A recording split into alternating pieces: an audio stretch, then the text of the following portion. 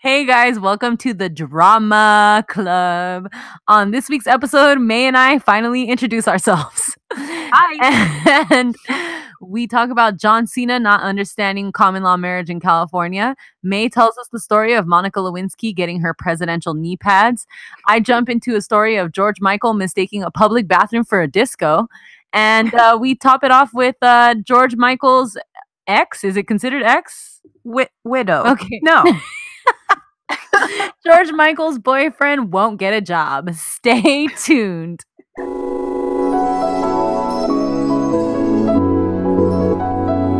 What up, fam? What up, fam? It's good, y'all. Feels good, right? Good, right? yeah, I know it, dude. I know it, dude. And without further ado, uh, we broadcasting live. All right, so uh, our Twitter homegirl Lorelai pointed out to us that we've never introduced ourselves. I feel like maybe we did at some point. Maybe it's in our lost episode. no, I think that we're just like, okay, Stef is going to talk about this and May is going to talk about that, but we never like take a chance in the beginning to like actually say who the fuck is who. And That's true. I never thought to do it because I know who I am. but do you know who I am? Yes, I'm Stephanie. And I'm May. And together, we're the Drama Club. Together, we're one person. The second part of our intro, uh, we're we're friends and we like things we like things that are scandalous and or dramatic. And, And that's we- why we we decided to start this podcast. Yeah, and we both love TV and movies, and we like celebrities, and we live for celebrity gossip. Yeah. So um this was only natural. Yeah, it was natural to introduce ourselves like eight podcasts in, eight episodes in. Well, I like to think that people already know us now. by now. But don't call Uh, me for free legal advice. don't be a dick. Hashtag don't be a dick. Hashtag don't be a dick. Okay, um, our hot topic this week is John Cena and Nikki Bella have broken up. You know, I gotta give it to you, Stef. This is another case of exactly what you were saying. Was it last week? Shut Or the up, week man. why why did this woman not become more famous? You're That's why her bitch. marriage broke up. They're not married. They're like married. weeks away from being married. Oh, that's so tragic. Like they're calling off their wedding. yeah. I mean, on the one hand, good for them to like realize, you know, before getting in even deeper, but on the other hand, like fuck, it must have been Yeah, a that's hard decision. that's so crazy because you gotta like pull back all those invitations. Like you literally have to let everybody know. it, it was a destination wedding too. It was. hmm I don't know where. So they've been dating since 2012. Actually, I think that he was way like famous when they started dating because people who are into wrestling like fucking love this guy. Oh, sure, but he's way more famous now. Like now he's in actual movies and shit. Yeah, that's true. Very true. Very true. Yeah, so they started dating 2012, and that she's also a wrestler in WWE, but she is also part of the uh Total Divas show on E. Um, and in that show, she's always like with him. Um, like they chronicle their their relationship, and straight off the bat, like on the first season, I watched it for a while because you know I love trashy uh reality TV shows Yeah. and he is always like he kind of like seems to keep her at arm's length like he's been married before i don't know if he has children but Mhm. he has stated that he never wanted to get married again like he would always bring that up with her because she, it's something that she wanted and something that he didn't Yeah. Okay. Well, yeah I would always be weary of the guy that asked me to marry him after. saying he would never get married again Yeah, exactly. Yeah. So, and he like famously made her sign this like 75 page contract when they fucking I'm moved sorry, in what? Yeah. 75 page contract when they moved in together.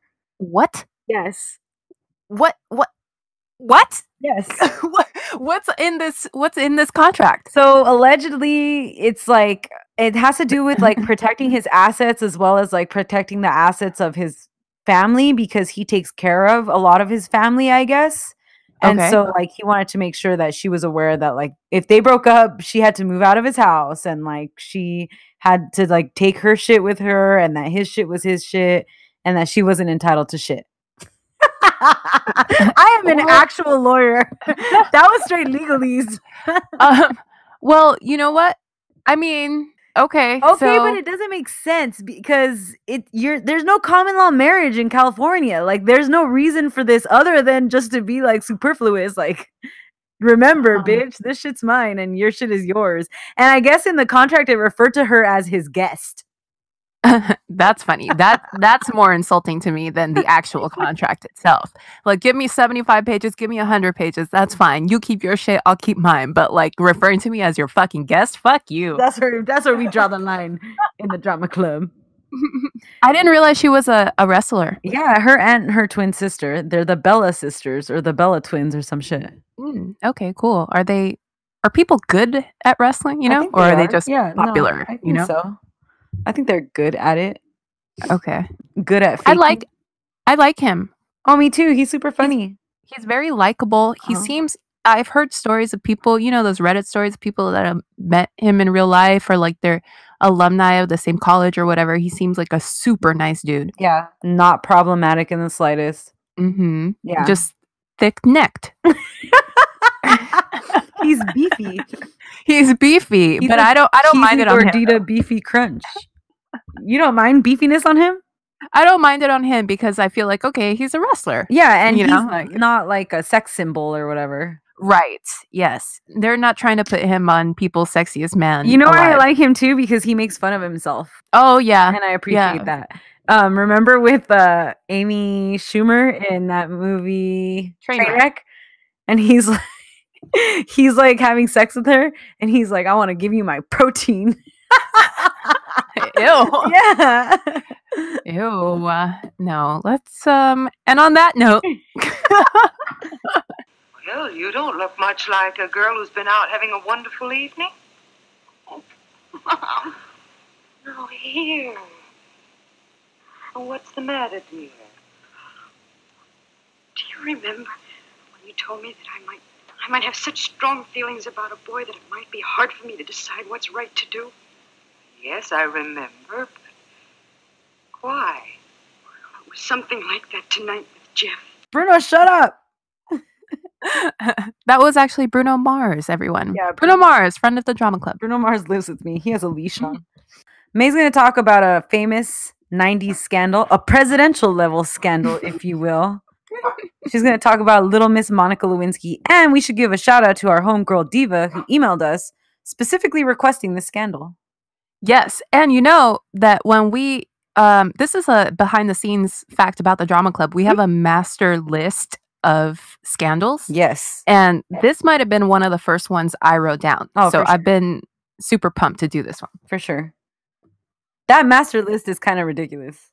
It's it's so funny. I look at it sometimes and just laugh. yeah, because we wrote like cr- comments.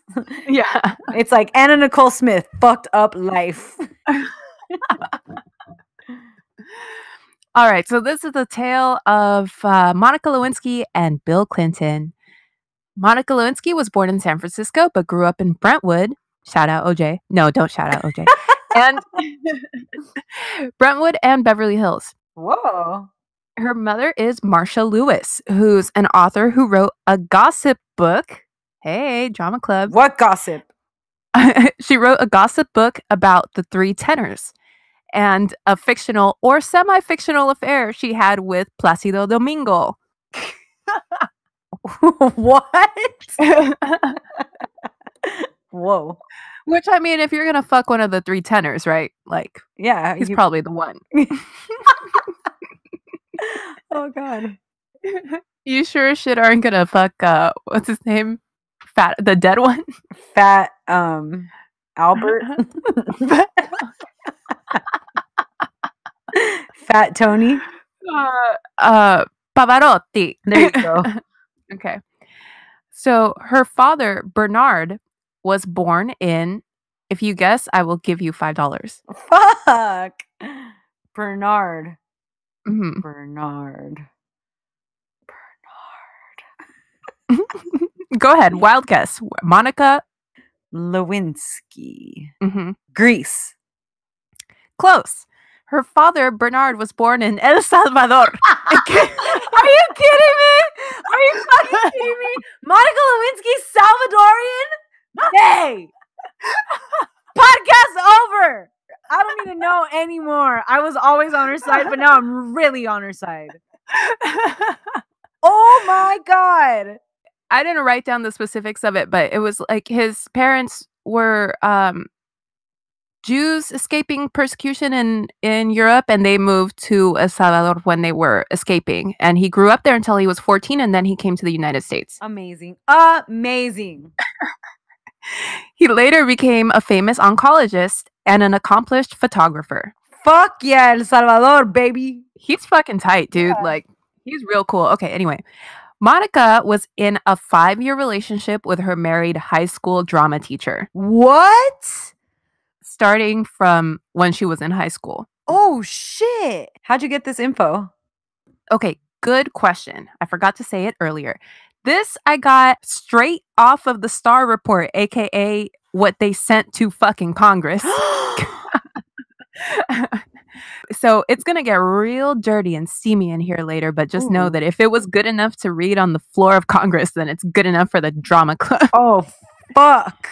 So I got most of it from that, a little bit from Wikipedia, some of it from her interview with Barbara Walters that she did in 99, Oh, okay. and then a little bit of it from an HBO special she did that was like a Q&A type thing. Okay, cool. Yeah, anyway, all jokes aside, the thing with the married guy, Yeah, that's this- horrible. it explains so fucking much. Yeah. And like speaking of that little HBO Q&A thing, it was this thing where Monica was sitting on a stage by herself, just, you know, sitting on the floor of the stage and there was an audience and they were asking her questions and shit. And one of the audience members says that she went to the same high school as Monica, Beverly Beverly Hills High, uh, but is a couple years younger. And that this dude was her drama teacher too, and that she was a victim of his advances too Oh my god. So tells Monica that she's a victim of this man. She's like, You are a victim. yeah. And then she tells Monica kind of starts to break down a little bit. And she and the woman in the audience just tells her it's not her fault. And it was actually pretty touching. Oh my god, that's horrible. So fuck this guy. I think his name was Andy. Fuck that fool. Anyway, so Monica worked at the White House first as an intern in the office of Chief of Staff Leon Panetta, and then eventually as an employee from July 1995 to April 1996, starting when she was just 21 years old. So she was like post college. Yeah, post college. Okay. She went to some school in Oregon, I think. Okay, cool. Who cares? She she told she told friends when she was heading to Washington that she was going to get her quote unquote presidential knee pads. No, she didn't. Yes, she did. Oh. That's in that's in the Starr Report. Oh, fuck. So we know where her head was at before she even got there. Fuck. Imagine that's your Mm. life goal. To suck the president's dick. And you did it. Thank you for your service. America thanks you. So a month after her internship started, Monica people said, clap off Mon- uh, clap when Monica Lewinsky uh, gets off a plane, like for veterans. I would, I would salute.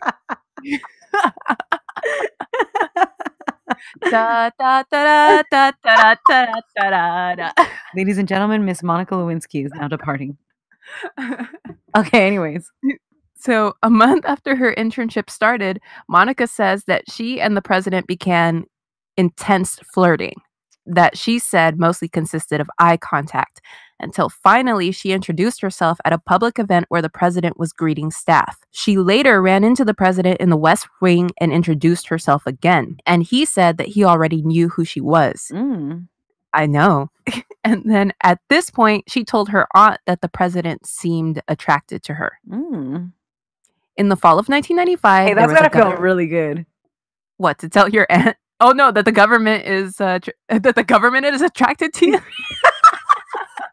that the president is attracted to That you. the president is attracted to you. Yeah. Oh yeah, I'm sure that feels good as fuck. Yeah. And you have to remember she's like 21, 22. Is at the peak of her game. Yeah. Her nipples are perky as shit, and the president's into them. God bless America. um, okay, in the fall of 1995, there was a government shutdown, which led to a lot of White House staff getting furloughed and a lot of interns doing the work that the staff would usually do. And as a result, interacting with officials that they normally wouldn't interact with. And that's how Monica ended up having a lot of FaceTime with the president. Hmm. On the second day of the shutdown, on November 15th, 1995, Monica says that she and the president made eye contact in Leon Panetta's office, and they briefly found themselves alone in the office where she raised her jacket and showed him the straps of her thong underwear, which extended above her pants. What? That's that's her opening move. Oh, fuck. Yo, She's shout out to shit. Monica. Yeah, she's bold as shit. Don't hate the play. I I couldn't even game. look someone in the eyes until I've known them for like a month. well, she's had the intense eye contact for at least a month. Damn. she needs to teach a class. There's a TED talk on uh I- don't want to start go down this path. I feel bad. Sorry. Sorry. Sorry, America. Just for everything. The way I've acted. Okay. Can you believe that this fucking thong was in a congressional report? You know, it's one of those nasty 90s thongs too that are just like the G oh, string. yeah. Like, And please tell me that there was like a footnote where you would go to that back to the back and it would explain what a thong was. It would be like, "Ooh, that dress so scandalous." Yeah.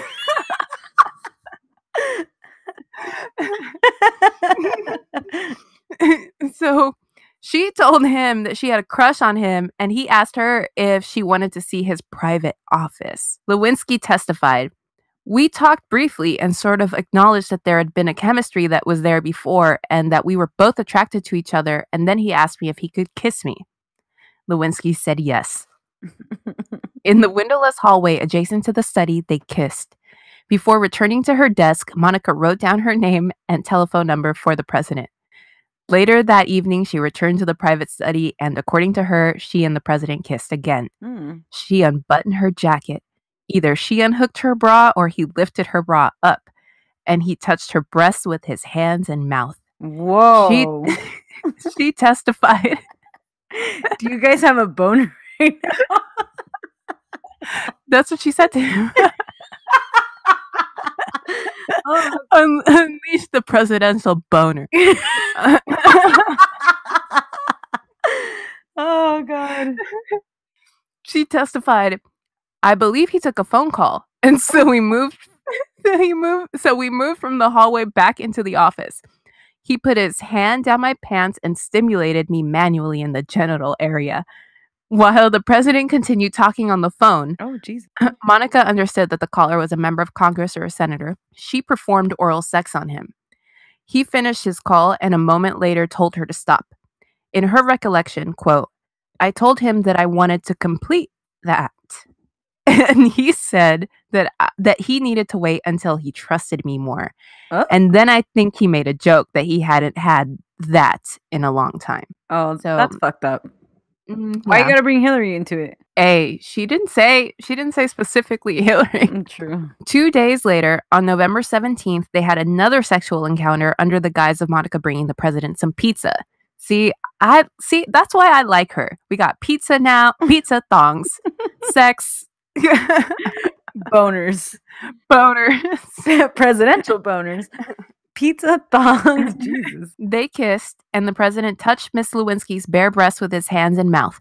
At some point, the president had a telephone call. While the president was on the telephone, according to Monica, he unzipped his pants and exposed himself, and she performed oral sex.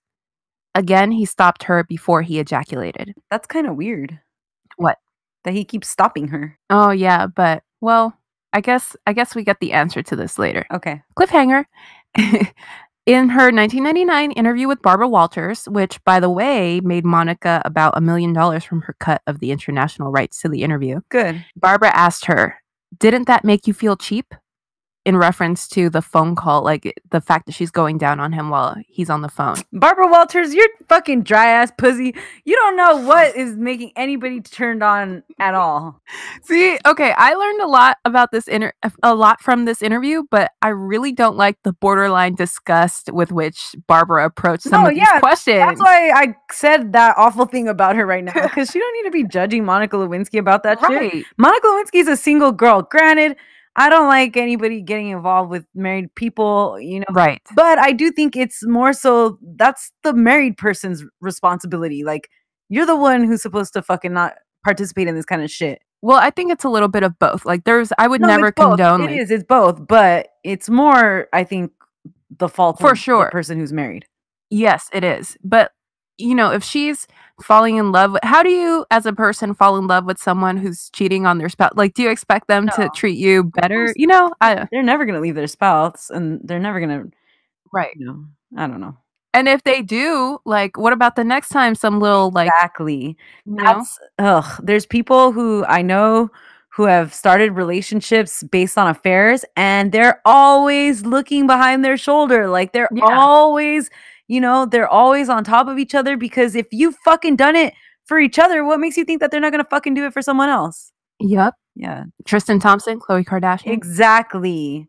Don't cheat. If you want to be monogamous, be monogamous. If you don't, then fucking break up with them. yeah. If you don't, just be a fucking adult. You're not doing anybody any favors. Exactly. Like tell the fucking truth. I think I'm attracted to someone else. I don't think that I'm set to be monogamous with you right now. Fucking right. Come to terms with like who the fuck you are, put it all out there, and then deal with that shit as an adult. I 100% agree with you. Hell yeah, May. Okay, let's get it popping. Barbara Walters, judgy ass interview. Yeah, I don't like that she asked her the thing like, does that make you feel cheap? Like, no, bitch, that didn't make her feel cheap. She was doing her not. fucking patriotic duty. You have a man in like the most powerful position doing a powerful thing. yes. That's gonna turn her on. And some women are out here giving blowjobs to their boyfriends on the couch while he plays video games. Exactly. She's- or he's on the phone giving- with his fucking debit collector, his credit collector. He's on the phone with someone from Congress. She's giving a blowjob in the Oval Office to the president while he enacts education reform. This is amazing. Show this woman some motherfucking respect. But Barbara Barbara has had some bad looks. I think she tried to out Ricky Martin at some point. yeah, she has hella bad looks. Their next sexual encounter was on New Year's Eve. Monica was in the pantry of the president's private dining area talking to a butler when the president walked in. She told him her name because she suspected that he had forgotten it because once he'd passed her in a hallway and called her kiddo. but he replied that he knew her name because he tried to look her up in the phone book after losing her number. Ooh. That's old school. Had to look her up in the phone book. Yeah. Once again, there was breast fondling and oral sex, but no ejaculation. Bill Clinton is a boob man. he loves boobs. That fool loves titties. I think um, all presidents should be boob men, Right? Until the first female president. Then uh, the first woman president's got to be an ass lady, I think. Our country has really done best when uh, the president is a boob man.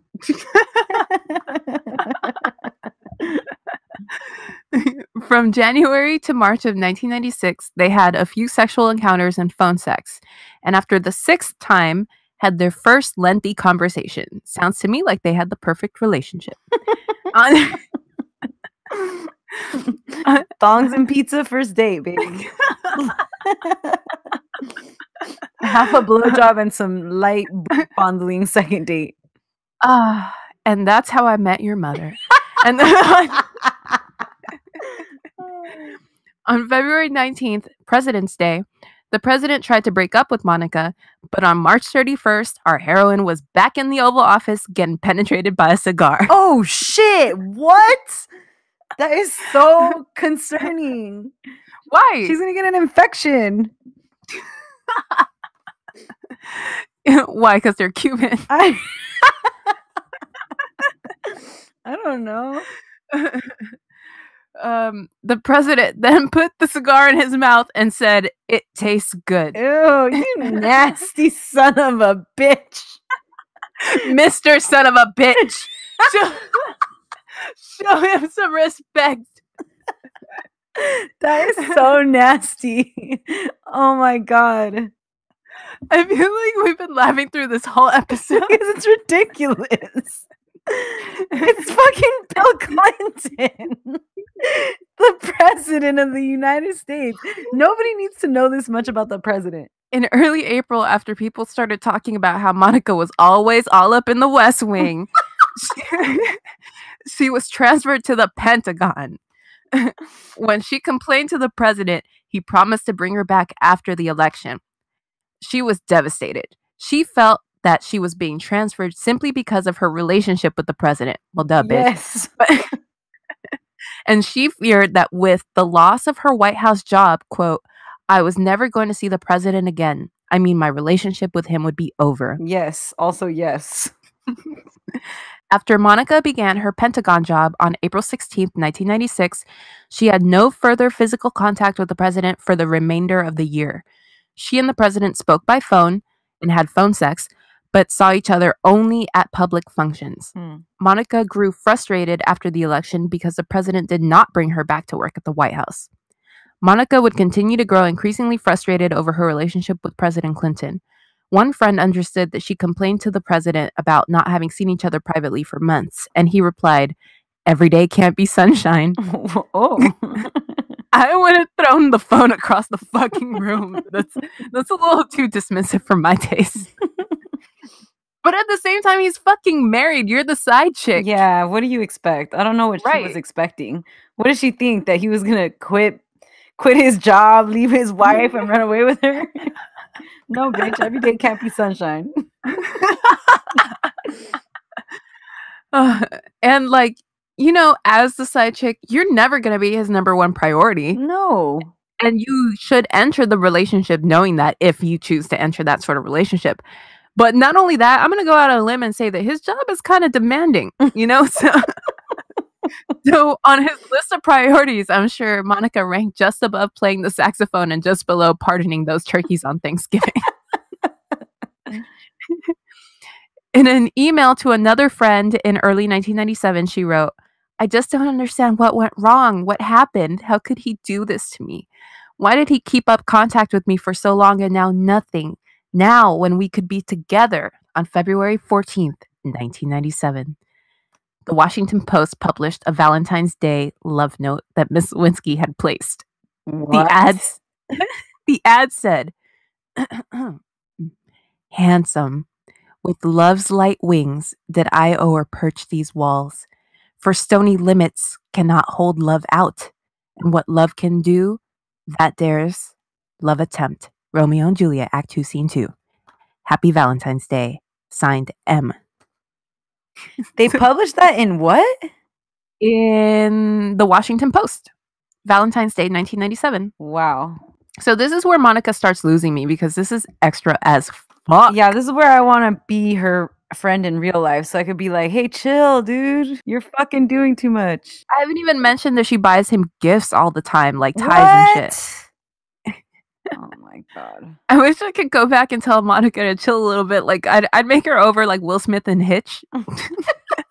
Yeah, like let's go out for a drink and meet, you know, a single dude. Yeah. Make her unflip the bottom of her hair. Yeah. Uh, maybe work on flirting that doesn't involve flashing her thong at people. No. And that's a solid move. She's got to keep that move. That shit's amazing. From now on, that's called the Lewinsky. and that shit's Salvadorian, baby. On February 28th, Monica wore a navy blue dress from The Gap and went to the White House on Pentagon business, where for the first time in nearly 11 months, she and the president had a sexual encounter. Wow. In the study, according to Monica, the president, quote, started to say something to me, and I was pestering him to kiss me because it had been such a long time since we had been alone. The president told her to wait a moment as he had presents for her. As belated Christmas gifts, he gave her a hat pin and a special edition of Walt Whitman's Leaves of Grass. Oh. I learned in the Barbara Walters interview that he also gave this book to Hillary when they were young and he was Oh. trying to woo her. Oh no, I don't like that. I don't like that either. No. Barbara asked Monica how she felt about it because she had recently learned that fact as well. hmm A- And Monica said it was kind of bittersweet because, you know, like on the one hand, it takes away from how personal it was. But on the other hand, like he only gives this to women that he, you know, feels close to, respects, Mhm. or something. I guess. Anyway, Monica performed oral sex on the president. She describes the encounter like this I continued to perform oral sex and then he pushed me away, kind of as he always did before he came. And then I stood up and I said, I care about you so much. I don't understand why you won't let me make you come. It's important to me. I mean, I just don't feel complete. It doesn't seem right. Monica testified that she and the president hugged, and he- said he didn't want to, quote, get addicted to me, and he didn't want me to get addicted to him. Hmm. They looked at each other for a moment, then saying that, quote, I don't want to disappoint you, the president consented. Shout out to explicit consent. Um, f- for the first time, she performed oral sex through completion. On March 29th, they had their final sexual encounter. According to Monica, she and the president had a lengthy conversation that day. He told her that he suspected that a foreign embassy, he did not specify which one, was tapping his telephones, and he proposed cover stories. If ever questioned, she should say that the two of them were just friends. If anyone ever asked about their phone sex, she should say that they knew their calls were being monitored all along and the phone sex was just a put on. okay. it- In early 1997, and for several months, Monica would pressure the president to get her a job at the White House, but no progress seemed to be being made on that front. So Monica started to think that the president was stringing her along. yes. In April or May, the president asked Monica if she'd told her mom about the intimate relationship. She responded, No, of course not. And this is where, if this were Arrested Development, Ron Howard would be like, She did. and she told six friends Ooh. and two therapists oh fuck. and Linda Tripp, who will enter the story later in a big way.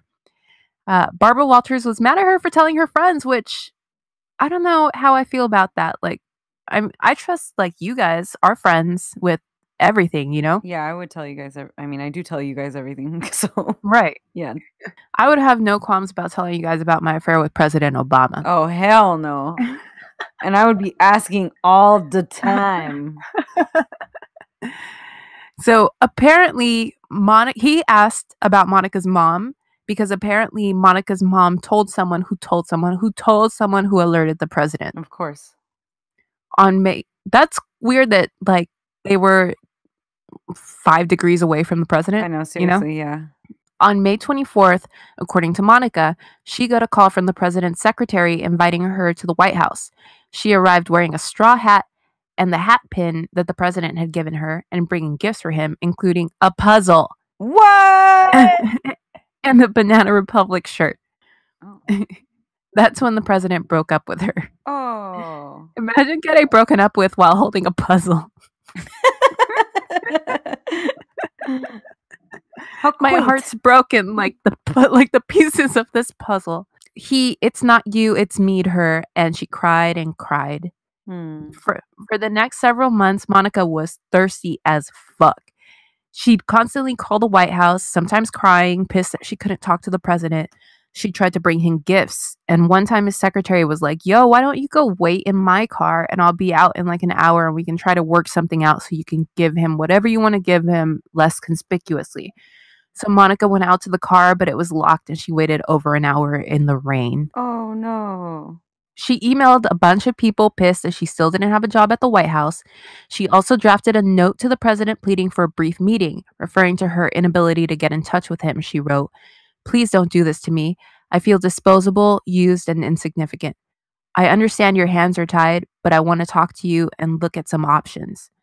She sent him a letter vaguely threatening that she'd tell her parents about the relationship if he didn't get her a job at the White House or at the United Nations. On July 4th, they met in the White House where the president scolded her for threatening him and said it was illegal to threaten the president of the United States. Quote, he remarked that he wished to have more time for me. And so I said, Well, maybe you will have more time in three years. And I was thinking just when he wasn't president, he was going to have more time on his hands. And he said, Well, I don't know. I might be alone in three years. And then I said something about us sort of being together. And I think I said, Oh, I think we'd make a good team or something like that. And he jokingly said, Well, what are we going to do when I'm 75 and I have to pee 25 times a day? And I told him that we'd deal with that. Monica testified that, quote, I left that day sort of emotionally stunned, for I just knew he was in love with me. What? Yeah, she's getting weird. Is she delirious? Like he's obviously She- not, right? Is it just me? I think that she's a clinger and he's probably sending mixed signals like that thing about like maybe we can grow old together but like maybe he knows that obviously they can't grow old uh, you know. Right. like maybe it's just a fantasy game that he's playing and she's starting to believe the fantasy. Yeah. i don't know. The next several months involved more and more monica being pissed and thirsty about getting a job in October, during an hour and a half phone call in which she and the president are having a heated argument and yelling at each other, she demands to have a job at the UN by December 1st. When he gets her a job offer at the UN, she said she'd rather have a job in the private sector Jesus. and demand and demands that he make it happen. She turns down the UN job offer. what an idiot. This is 100% where she lost me. Yeah. Like the fuck this moment. Like, what are you doing? You Yeah. could have had whatever. By this time, independent counsel Kenneth Starr had spent three years investigating President Clinton regarding alleged misconduct in an Arkansas real estate deal referred to as Whitewater Yep. that allegedly allowed the Clintons to profit illegally. This scandal and a bunch of other scandals, mostly false or blown out of proportion by political by political enemies, had been popping up here and there for most of the Clinton presidency, which at this point was in its first year of his second term. At the same time as all of this, President Clinton is also in the third year of a legal b- battle involving a woman named Paula Jones. Yeah. Jones alleged that in 1991, when Clinton was governor of Arkansas, he sexually harassed her. We read all of these fucking lawsuits in law school. Oh, yeah? Yeah, all like well, like hers, and then everything it. Why? to. Is it a particularly good example of uh, sexual harassment, It- or it why? how executive office doesn't have uh immunity to like uh private lawsuits or whatever. It Right, shows like the limits of the executive office altogether because then he also didn't want to testify. He Right. claiming that he had like privilege in regards to a lot of this loss these lawsuits and then w- when everything came out with Monica also that he was, you know, able to just like kind of like put things off until after his presidency ended. But then so then the Supreme Court was like, no, you gotta fucking deal with this now. Or like even right now, there's a big legal question as to whether or not a sitting president can be indicted. Right. I But just feel like with there, there are so many things that are untested. These waters are untested. because you know. never fucking happened before. Same like with Mhm. Bill, like no fucking this had never happened before, you know? no one's ever gotten a blowjob in the Oval Office before. So, um, an attorney for Jones reached out to Linda Tripp, Monica's coworker at the Pentagon, after receiving a tip that she might have information that would be helpful to their case. Linda, a fucking two-faced, nosy, attention-seeking rat piece of shit, had befriended Monica and kept telling her that if she had See, if Monica had real friends like me and you, we would be like, "Hey, don't fucking don't hang out with Linda. She's she's a fucking snitch." yeah, you can tell in her face that she's a snitch. Yeah, she looked like a fucking snitch. So she befriended Monica and kept telling her that if and when she got a job in the White House again, she should try to have an affair with the president. She would bring this up all the time. Yeah. Finally, at some point when Monica had been frustrated with the president, Linda brought it up again, and Monica spilled the tea about her relationship with the president and why, because of that, she didn't think she would ever make it back to the White House. After this, Linda begins to record their phone calls, and she gets Monica to spill more and more tea and details about everything. This leads to Monica getting subpoenaed to testify. She files an affidavit where she denies having an affair with the president. Five days later, Tripp contacts the Office of the Special Counsel and says that she has tapes that prove that the president asked Monica to lie during her testimony in the Jones case. Because the tapes will be inadmissible in court, Starr gets Tripp to wear a wire when she has lunch with Monica the next day at the Ritz Carlton. There, Monica implies that both she and the president will lie when questioned about their affair. The next day, the FBI swoops up Monica and they interrogate her for 11 hours. Wow. This is when they tell her that she's going to go away for 27 years because it's Perjury. perjury, obstruction of Justice, justice, witness tampering, Yeah. fucking everything. Um, how Uh, old is she during all of this now? I think she's 24. Oh my god, she's a baby. Yeah. They want her to admit that she lied and that the president specifically asked her to do so. And they ask her to wear a wire to try to figure this out. Mm, But at the end of the day, she refuses and she neither confirms nor denies. I like that. me too. By this point, the story breaks all over the media and it's the biggest story in the world. Fuck yeah. Monica's face and name are all of a sudden everywhere and she becomes a joke all over the world. That sucks. People call her a tubby temptress and a portly pepper pot. Aw. Barbara Walters asked her specifically how those made her feel. Like, how do you think they made her feel, They made me feel really good, you fucking old bitch. that was literally how she opened the interview. She was like, uh, Monica, people call you a tubby temptress and a portly pepper pot and a slut and a stalker and not very bright. How do you feel about this? She was very bright. yeah, she was pretty bright. Um, they talked about how Oh, she Monica. Monica chubby though. Just- See, if we were friends, we'd put, we'd say, Monica, how about you cut back on the carbs? yeah, you know. No, You're beautiful. You're beautiful outside and in, obviously. Yeah. Actually, she's pretty. She's really pretty. It's Um, just that hair, kind of, right? It's the hair. Yeah. It's the hair. Poor Monica. Right. Okay.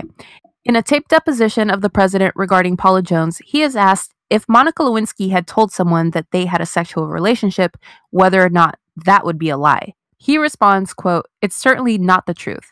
I've never had sexual relations with Monica Lewinsky. I've never had an affair with her. That's a very sly and I want to say like very attorney Mhm. slash politician move to like cut that sentence apart and find one thing that you could break it down with. Well, by all accounts, Bill Clinton is a brilliant attorney. Fuck yeah, he is. They're he's so smart. He had there was that one famous quote um where he's under deposition later and they asked him like is it true that you had a sexual relationship with monica lewinsky and he says it depends on what the definition of is is Oh my god. yeah he's he's a genius yeah, for sure. um monica had been using visits to the president's secretary Betty Currie for cover so the president asked Currie quote you were always there when monica was there right and quote she came on to me right i never touched her depending on how you interpret this it could be obstruction obstruction of justice Yeah. if he was asking her to lie Right. he claims he was just trying to get the facts down Right. when the story breaks, the White House quickly conducts a poll, and it turns out that if it's true that he had an affair and he asked her to lie about it, then most people would want him to resign. Mm.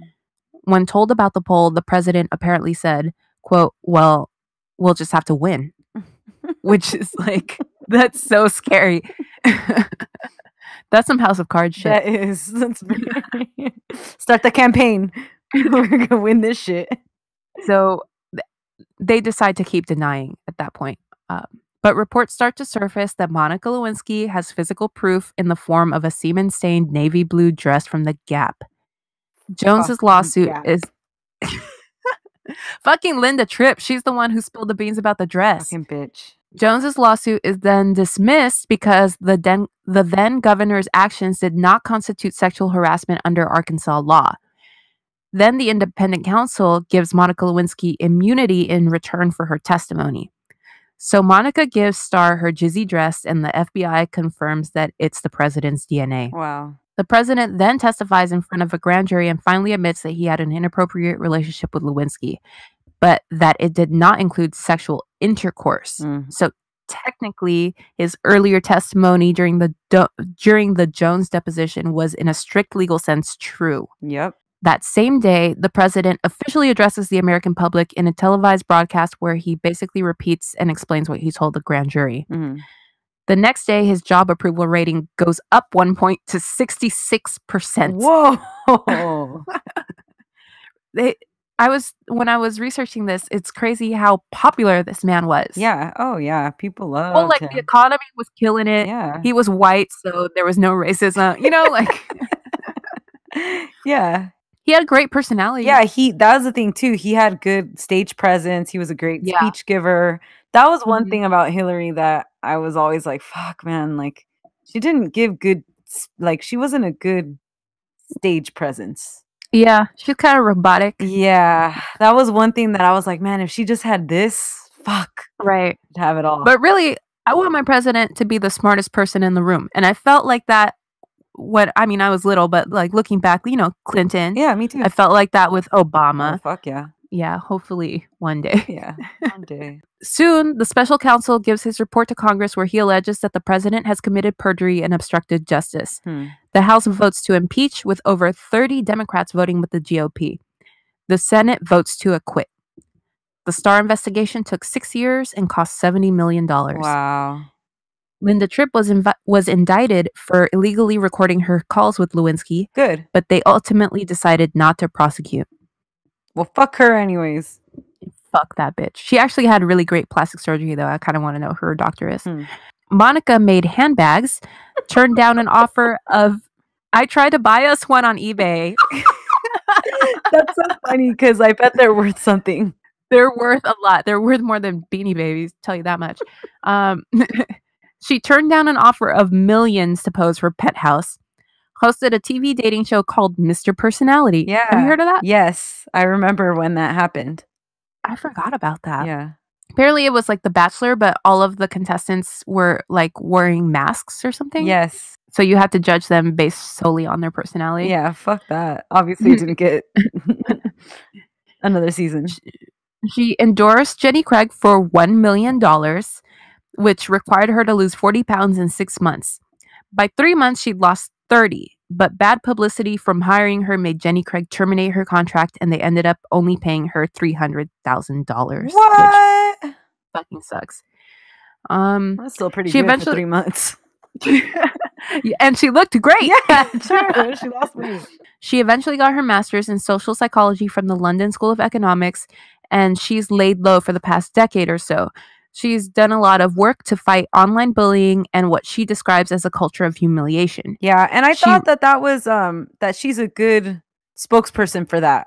For sure, because she's like patient zero. yeah, You know? you know, yeah, like she was dragged all over the place, and she just kind of had to take it. Yeah, I feel bad. I feel like she had a million bad looks, but like she was young. Yeah, I mean, was- fuck. you know, she made a mistake.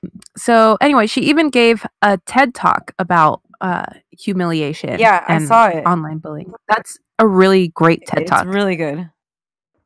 Imagine giving a TED talk as a direct result of seven blowjobs you gave in the 90s.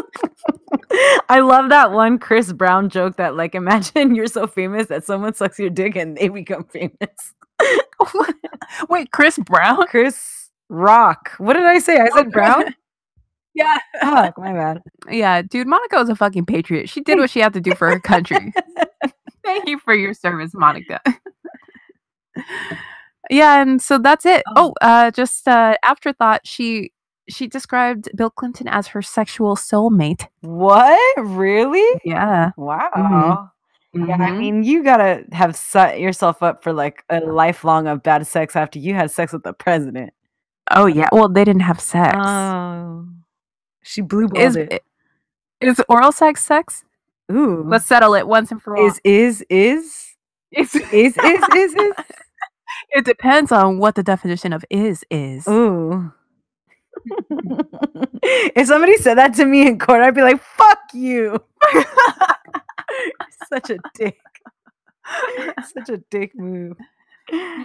What do you think, like, with the current presidency and like all this Uh-huh. stuff he's done and scandals and everything?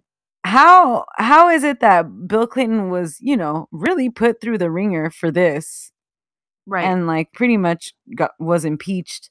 because because the the Republican Party plays dirty and the Democrats are on their we go they go low we go high bullshit which I mean yes I I get that and I that works but maybe it doesn't work in the real world it doesn't work when people are trying to slander you when they're they're pulling out all the stops to try to like handicap you you know Yeah.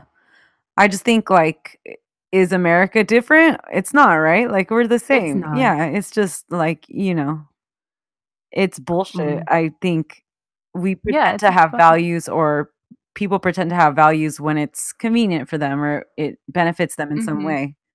Yeah. Like look at all these uh Republicans who were like when the Access Hollywood tape came out, were like, "Oh, um I have a daughter and I wouldn't I wouldn't want to vote for someone or I wouldn't want to stand behind someone that does this to talks this way about women." But like the next week they forgot about that shit and they were behind him again. Yeah. That's fucking horrible. What about Monica Lewinsky? Do you think that maybe it, this is something Diva asked us? Like, do we think that she wouldn't have been as dragged if this were to happen now? Mm, Because like, look at. Stormy Daniels. Like, people uh, really back her. okay, it depends. Does it happen to a regular schmegular white president or does it happen to Obama? What the blowjob? Yeah, you know what I mean? Like if it's like an, another white president, then like they'd be like, "Oh, all right," like just like Stormy Daniels, like it would be in the news or whatever, but no one would be like, "Let's impeach him because of this or whatever." Like, start making fun of her and shit. But if it happened to Obama? if Oh, yeah. Like they would, All hell he would've he would've been gone. Oh yeah, found a way. life finds a way. Yup. Well, I'll say I tip my hat to Monica Lewinsky because I think she was put into like a really she put herself in that position also, but then you know it really spiraled beyond I think anything she had anticipated, obviously. Right. And she did who all could- right for who- herself. Who could have imagined that it would get as big as it did? Like she, you know, Like she was so we forget how young she yeah, was. and she was really in love. yeah. That- makes me sad because she's dumb for Mhm. falling in love with him. Sexual soulmate. Don't fall in love with married men. Yeah, definitely don't. Like just stay away. Like what what are you doing to yourself? Yeah. It depends upon what the meaning of the word is. Yes. So next up, we've got Stef telling us the beautiful tale of George Michael in a public restroom. All right. George fucking Michael The the voice of an angel. was an English songwriter, producer, singer, performer, and philanthropist. Born on June 25th, 1963, in London. His real name is this really beautiful uh, Greek name, and I can't pronounce it, so I'm just going to stick with George Michael. Um, his father was Greek and his mother was English. He grew up in Kingsbury and met his fellow Wham bandmate Andrew Ridgeley in high school. Oh, cool. He started off as a DJ, then started a ska band, and then ultimately formed Wham in 1981. Wow. Okay. Yep, their first album from 1983 was a huge hit and skyrocketed him into success at the age of 20.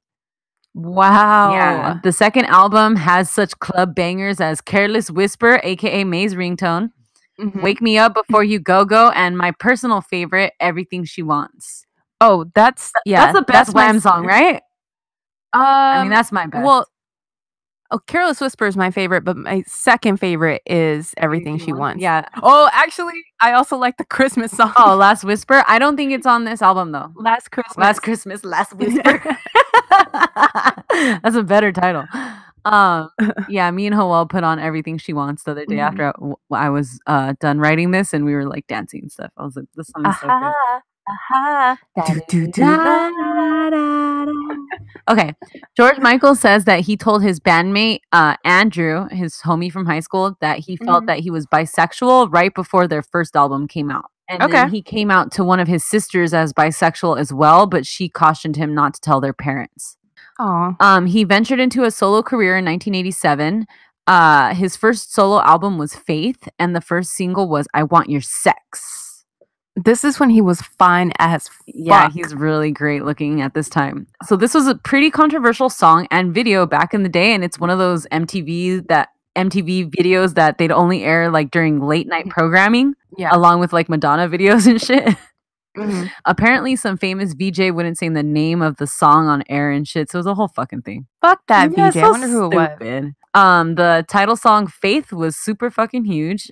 That album won Album of the Year at the Grammys that year. Wow. Yeah. George Michael said that this fame seemed phony to him at the time because he was like an idol and a sex symbol to women, all the while Mhm. hiding his sexuality. Oh yeah. Um, His second solo album, Listen Without Prejudice, took a more serious tone and he sang about social issues and shit. So it was his tu- Tupac, Tupac phase. It was his Tupacalypse now. the single Freedom was the second music video to be released from this album. It is iconic.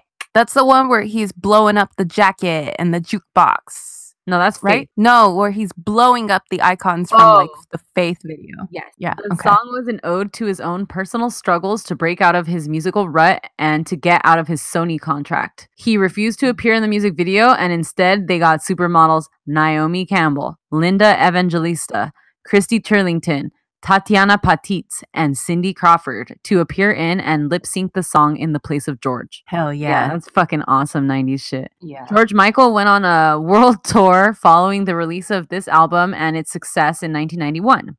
During this tour, while performing in Brazil, he met Anselmo Feleppa, who became his secret lover. I think this might have been his first gay relationship. Aww. Never like said that straight out, but he references his first relationship like like it, it you could put two and two together that it was An- Anselmo. and he's Brazilian? Yes. Okay. He was a dress designer. Ooh. Uh. George Michael said that falling in love with a man made him realize that he was not bisexual. He had been in relationships with women and he thought that he had loved women, but falling in love with Anselmo made him realize that that was not real love. See, that's what I was talking to you about in Vegas. Like, what if that were to happen? you know? okay, me.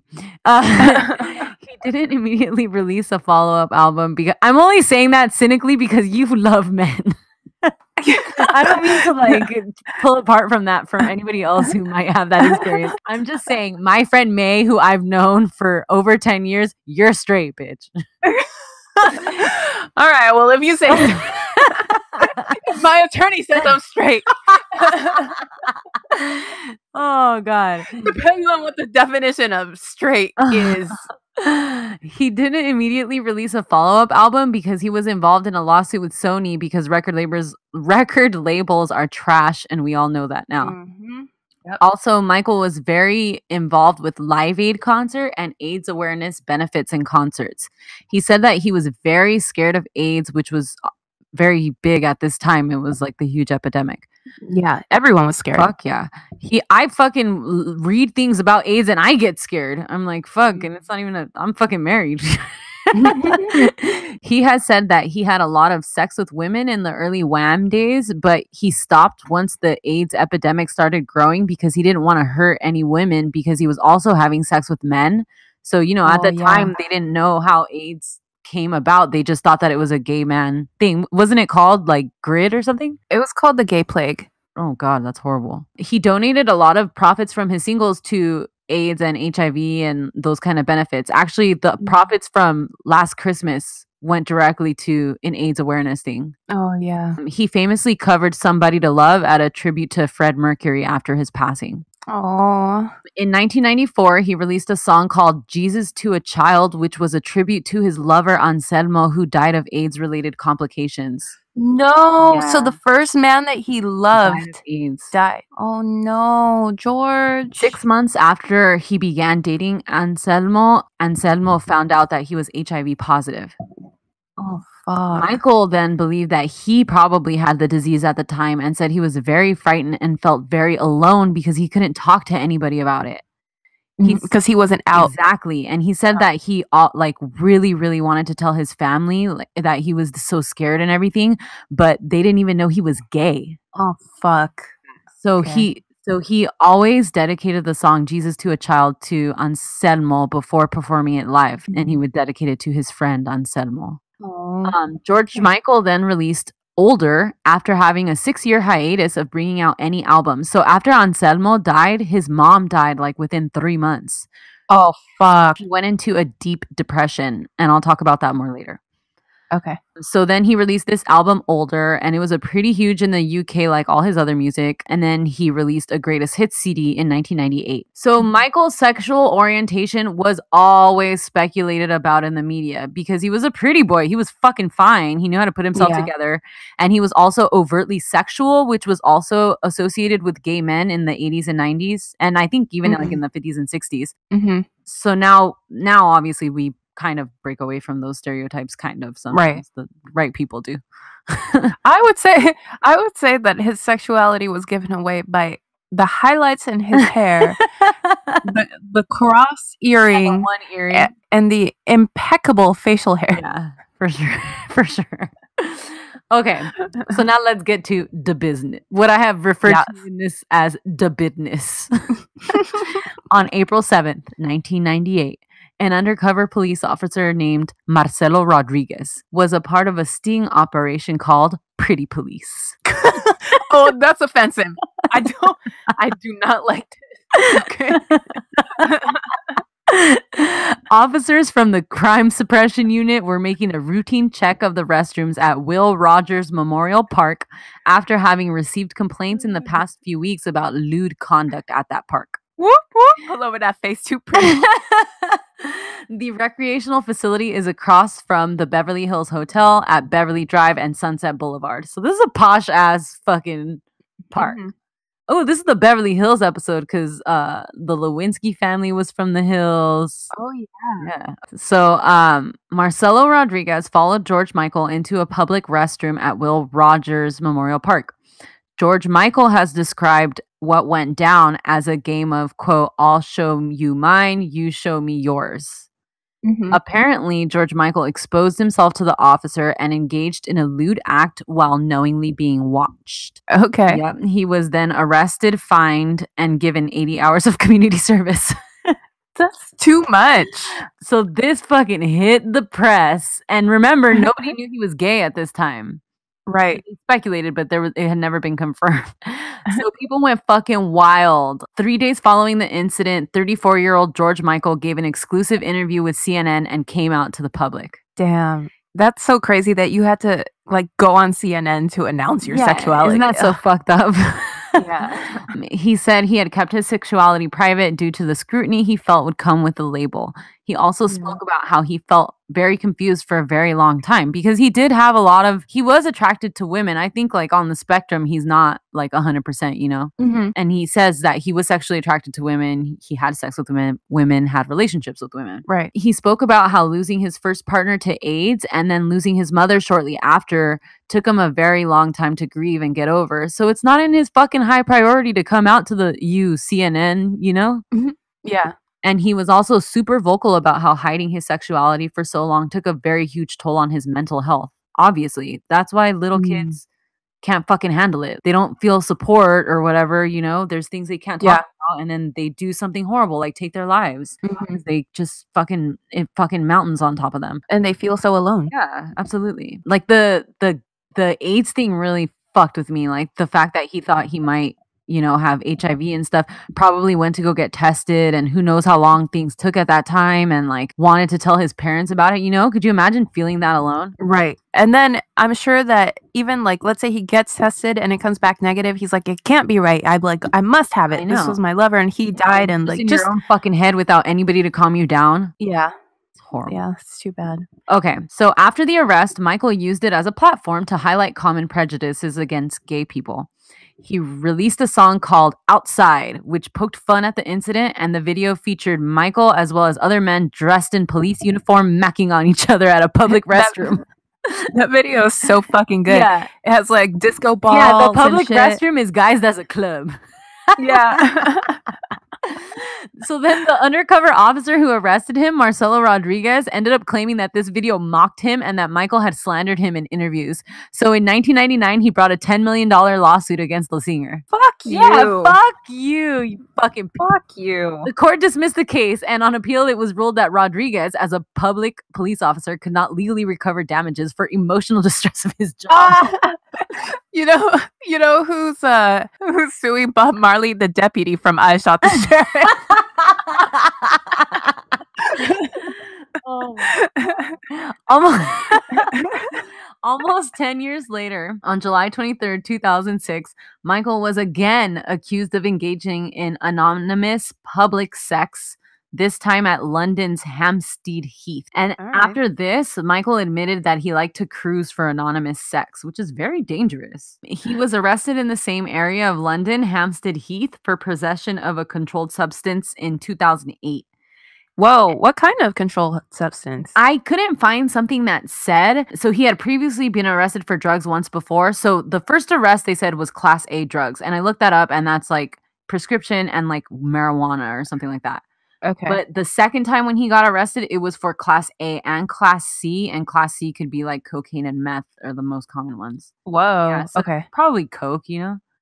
Yeah. Um, in 2010, he crashed his car in a storefront while under the influence and was arrested. He pled guilty and served four weeks in prison. What? That's fucking crazy, right? Whoa. I feel like I never knew about that. I know. I didn't. That was over there. I was in the UK. Damn. Imagine your cellmate is George Michael. Oh, that's awesome. Yo, I would. Yeah, I would be singing freedom. Okay. All the while, please remember that George Michael continued to support AIDS awareness, and he's one of the world's most recognized gay rights activists. Mhm. Sadly, on Christmas 2016, so literally December 25th, 2016, Michael died at his home at age 53. He was very young. He was found dead lying in his bed by his partner, Fadi Fawaz. Fawaz stated that I went around there to wake him up and he was just gone, lying peacefully in bed. We don't know what happened yet. Everything had been very complicated recently, but George was looking forward to Christmas, and so was I. The cause of death was attributed to natural causes as a result of a dilated cardiomyopathy with myocarditis and a fatty liver. What does that mean. May? Tell me Mhm. that in Well- layman's terms. Uh, he had uh, congestive heart failure. What'd you So- say? oh, well, when I said tell me that in layman terms, he said his heart bad. he he died of a broken heart. Aww. Last Uh, Christmas no, yeah, is probably one of the best. It is one of the best Christmas songs ever. And I remember after he died, I immediately listened to it on repeat like forty-five times. Yeah, me too. It's one of the best songs, Christmas or otherwise, ever. I think. But Christmas is like song. Mariah Carey's um fucking Mhm. what, what's the name of that fucking song? All I want for Christmas is you. This uh, last Christmas, and then like Frank Sinatra's cover of Christmas Time is here. Those are like the only three Christmas songs that I give a shit about. Um, I always listen. I don't really care for Christmas music because I worked retail in college Oh. and I just can't. Fun. But I do. Um, Well, the Temptations Christmas album is good too, actually. I listen to the She and Him Christmas album a lot. Oh, lot. that's very Silver Lake of you. do you do it with a green juice and ro- you're rollerblading? I, I I actually just listened to Felipe Esparza's podcast and he interviews Esteban Oriol, the photographer, in Yeah. his last episode, and he's talking to Esteban about like the town in East LA where he first shot a bunch of his cholo pics, and he's like, "Yeah, if you go down there now, it's all fucking hipster. They got oh yeah, he, got thick frame glasses and vegan wraps and ten dollar cappuccinos. And in my head, I was like, that sounds like my husband. your husband is gentrification. Yeah, so that's George Michael. I do have as a blurb. This is what I wanted to talk about as the quickie, maybe Fadi Fawaz. okay, all right. Okay, so let's just get right into the quickie then. You like someone, he likes you. Everything is fun and affection. Then, all at once, you can find yourself in a situation where your physical urges fight against your reason.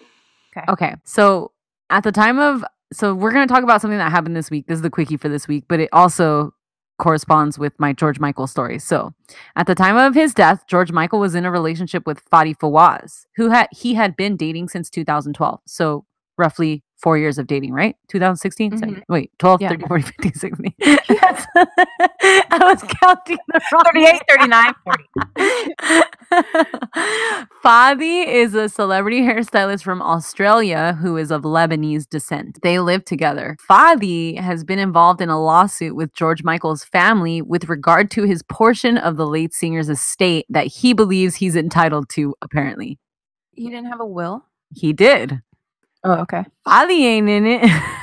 Hey. Shortly after Michael's death, Fadi refused to move out of George Michael's $5 million townhouse in London. The house, mm. as well as most of George Michael's estate, was inherited by his family, and the house itself was left in George Michael's will to one of his sisters. Okay. Fadi wouldn't leave immediately after George Michael's death and tried to argue that he and George had an agreement about his remaining in the house for the quote foreseeable future. Whatever the fuck that means. Exactly. So Fadi has constantly accused George Michael's family of cutting him off and not taking care of him since George Michael's death. Who the fuck are you? Yeah. Why the fuck do we gotta take care of you? hmm So let's fast forward now to like right now. He's still living in George Michael's home. Two fucking years have passed. No, not two years. A year and five months have passed.